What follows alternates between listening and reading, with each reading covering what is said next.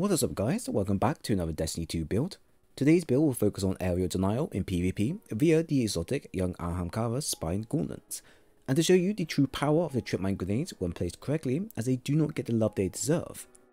The idea here is to build random bait players in the charge at you, who will be easily dispatched the moment our trip mines are triggered, and if that isn't enough, then we can follow up with our knife to potentially one-shot them, or use both our primary and secondary for a wombo combo special.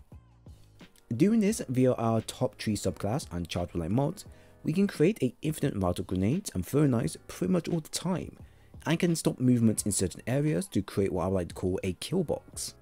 The way it's designed should not only allow you to counter aggressive, mobile and shot grenade players, but also stasis players who rely on glacial grenades to get a wide amount of damage and bonuses from their whispers.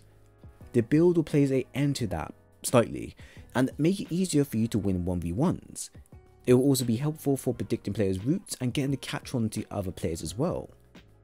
So with that covered, the subclass we will be going with is the Way of the Outlaw for the main use of proximity knives and Chain of Woes.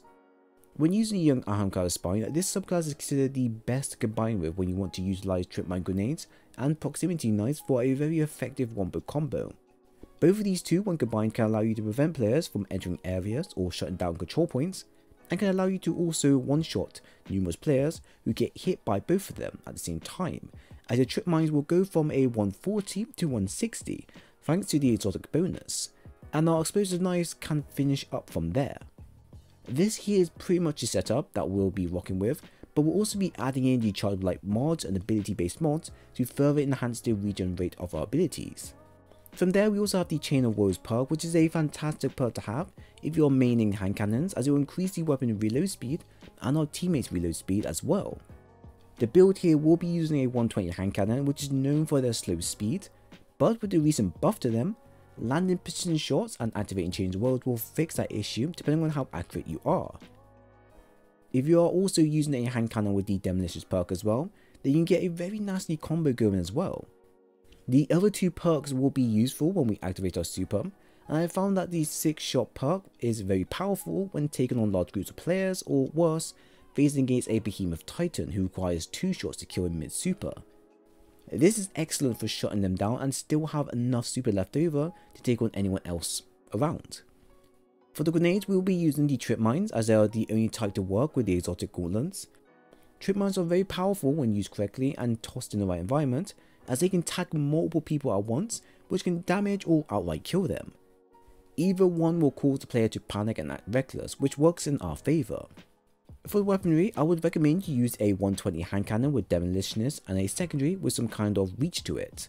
Something that can easily weaken them and then be cleared up via your grenades. My primary is the True Prophecy hand cannon with rangefinder and demolitionist and this is what I've had in my vault for a very long time and I've just been waiting for a good time to actually use it. The buff to 120s have made them not only lethal to use, but also incredibly powerful when you have a version that focuses on both stability and range, as you can easily match someone at scout rifle ranges and promptly free tap them like it's nothing. Now I was originally going to go with the Monte Carlo to boost my melee regen rate, so I could 100% have my knives ready whenever I like them, and then back it up with high discipline or a secondary shotgun or sidearm with the demo perk. However, I soon realised that my grenades are the main focus of the build and they do a lot more damage compared to my knives. They also have a much longer duration and radius thanks to the exotic gauntlets trait, which allows them to be more useful the longer they're out. This is why I decided to use a 120 for finalization of the build as 120s are great for mopping up players from full or half health, and as trip mines are a 50-50 in terms of who gets injured and who outright dies, this can allow me to easily mop them up via a body shot or headshot since the damage should be enough to achieve this. Of course, if you're a new player who doesn't have a 120 like this with the demo perk, then any weapon with the perk should be fine to use, or if you want to do the opposite and have more strength available, then the Monte Carlo is a great pick to choose and use. For secondary, I'm using the Truth Teller with Field Prep and Demolitionist, and grenade launchers as of now have been very quiet from a lot of people since the reign of Mountain Top, and from past experience, it seems like a sudden removal of Mountain Top has caused a kind of shock to those who don't know how to time their shots compared to them just nailing you with no thoughts. In this build, you will need to learn how to at least nail most of your shots if you wish to succeed with it, and you don't need to be a pro at it. You just need to know how to detonate your shot to weaken said players and then finish with a hand cannon or grenades. You see, grenade launchers and 120 hand cannons are a match made in heaven when paired, as you can weaken someone with your grenade launcher and then follow up with your hand cannon for a tidy one shot. This here will allow you to keep players at bay who try to challenge you. It can also work well when paired with your trip mines, as you can use your grenade launcher to activate your grenades, to which it should be enough from both blasts to one-shot anyone caught within it. Of course, this may not always work, but it's very effective, I found, when trying to enter areas that has an enemy just around the corner and waiting for me. Use my trip mine to weaken them and then use my grenade launcher to bounce its round off the surface of a corner to catch them off has worked out really well for me compared to anything I've used before and is also incredibly safe compared to using a shotgun and charging in. For heavy, I've gone with the Avenger's Memory grenade launcher with sticky grenades, clown cartridge and auto-loading holster. From the perks, you can tell straight away that I plan to use it for catching players off who go to certain areas or for comboing with my grenades and setting up traps. To be honest, it won't see a lot of usage since heavy tends to be a death warrant at times, and the stick grenades also have a small duration and radius to them, so their effectiveness can be very low at times. But when they work, they really do work. For our stats, our focus should be the melee stats, so we can have a high passive recovery rate when we're not in action. Now if you have the Monte Carlo and the ability based mods, then this area won't need to be high and can stick around to the 50 to 60 ranges as passively. This combined with the Monte Carlo perk will be enough for you to constantly gain melee back at a reasonable level.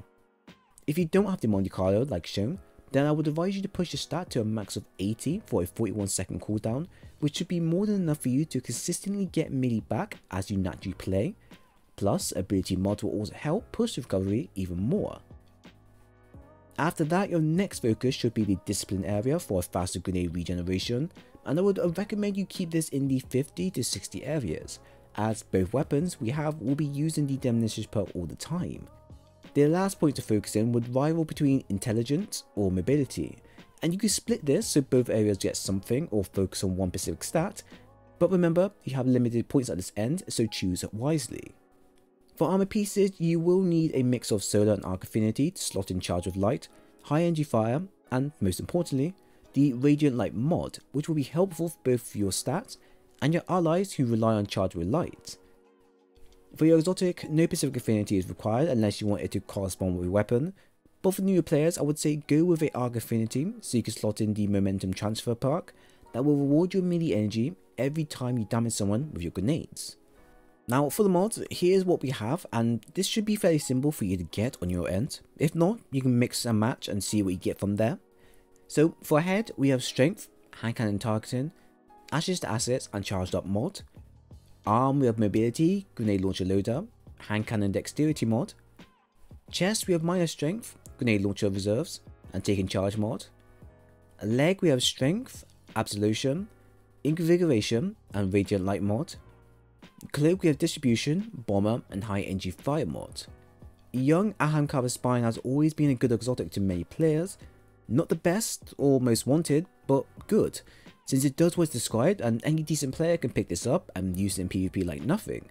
Now there are better exotics for PvP that players will use instead, but Spine is very good with top tree gunslinger, as we can make use of the explosive knives and trip mines to one-shot majority of players under 5 resilience, or place them into critical, to which they'll shortly die after from us.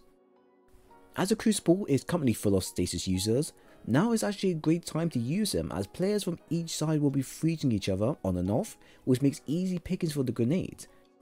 But Glacier users aka Shatter Dive Hunters and the Slip Slide Titans won't be aware of what's on the other side of the glaciers until they smash them.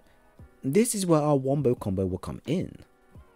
Using our radar and map knowledge, we can control areas of interest by baiting players into specific areas and then use our grenade to trap them and kill them there and then.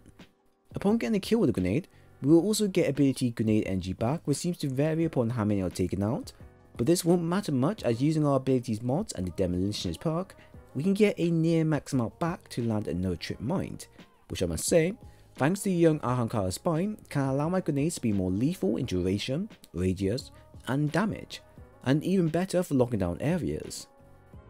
To keep up with the Wombo combo, we will need adding quite a bit of strength to our melee for a consistent combo being available. which is what we have done here via our mods and the Radiant Light bonus stat point. We also have our primary that can weaken or finish players off from either 3 to 2 tap depending if I'm charged with light, and my secondary is also useful for forcing group players to spread out, which for my knives and grenades can allow me to pick them off without them even knowing they're moving it into a pre-made trap. Its use is very effective against aggressive, mobile, stasis and shotgun ape users on preferably small group maps like Javelin, and this is why I found its great usage as a counter against the common loadouts. In many ways, I created a build for new or average players who just want to counter the aggressive builds that are rampant in PvP, but don't have a specific loadout available. This setup will allow making follow-up shots more consistent on your end. Now as the setup is effective, it doesn't always work in your favour against said players all the time. The one downside to this build is that players can shoot the sticky grenade depending on the angle it's on, which as they do basically mean you've lost your wombo for your combo. Secondly, if a player moves fast enough, they can actually avoid the blast of grenade. This against a behemoth or top tree Dawnblade who know what they're doing can lead to disaster on your end. You also have to be aware of the angle that you throw your grenades at times, as most objects have wonky angles that won't make them accurate for you. Of course, the downsides are negatable, as you can easily recover with a good cooldown and using your abilities at perfect timing. The build overall is average at best and great for area control and shutdowns, but as everything is being relied upon your one grenade, it can lead to risky situations to where you may or may not net your kill. Still for new players or players who want to shut down aggressive players, it's definitely worth using if you know what you're doing and it's honestly great until some other type of counter against stasis is then shown. So if you enjoyed the video then please leave a like and a sub and also follow me on Twitter to keep up to date with Destiny content if you dig that type of stuff, the link is down below. But once again thanks for stopping by and I'll see you on the next one.